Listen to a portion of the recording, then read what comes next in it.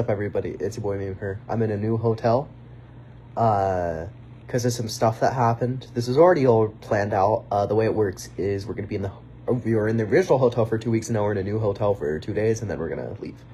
Uh but this is a hoodie i got yesterday a champion hoodie. My dad was very very very very nice and and he got it for me for my birthday. I really appreciate it, it it's so comfy and i'm wearing it all around and i'm really enjoying it. Uh yeah, so it's really great. Um, for breakfast, uh, we had a like a bagel sandwich, and uh, if you could tell, I'm really not that sick anymore. And uh, yeah, I'm 17 years old. I forgot to mention. Uh, yeah, I, I didn't even say it in the title or thumbnail or anything of my last video, but uh, the reason why we're at the Hoover Dam is because it was my birthday. Um, I did say it in the video, I think. Um, yeah, I'm 17.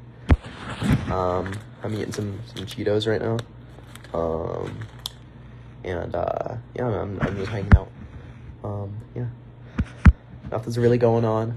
Uh, I'm way less sick now, way less COVID, uh, so that's really nice. And um, yeah, my elbow is so pointy. Yeah, all right, see you, dude. Is there anything else to really talk about? Not, not really. I'm just so happy that I'm not sick anymore because I feel like my worst day was like three days ago, and I was really like I was honestly like delusional then.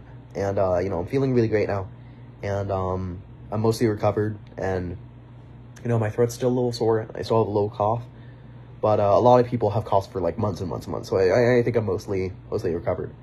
And uh, the new iPhone event is happening September 7th, confirmed. So that's nice. Um, but yeah, all right, see you, dude.